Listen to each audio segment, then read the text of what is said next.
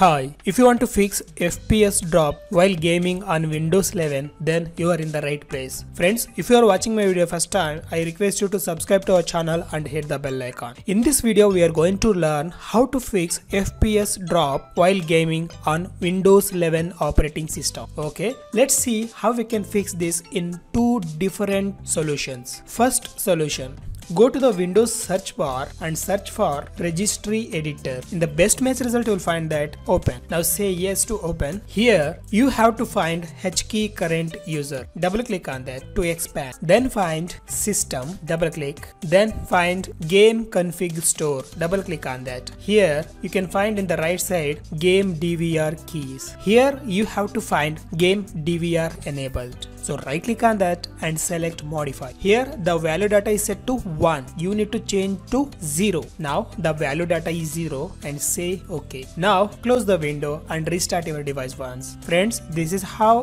we can fix the FPS frame rate drops while gaming on Windows 11 operating system. Okay, let's see the second method. That is again go to the Windows search bar and search for registry editor. Then open the registry editor again. This time you have to open HKey local machine. Double click on that. Then find software. Double click. Then find Microsoft. Open that. Now here you need to find policy manager.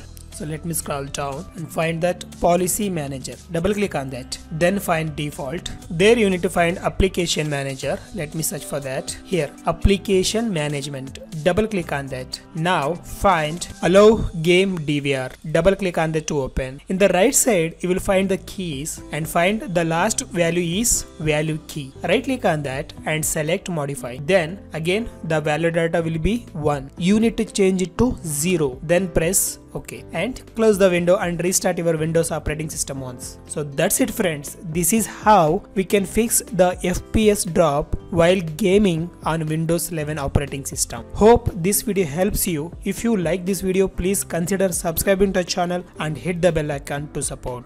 Also don't forget to like, share and comment. Okay let's meet in the next exciting video like this till then bye bye.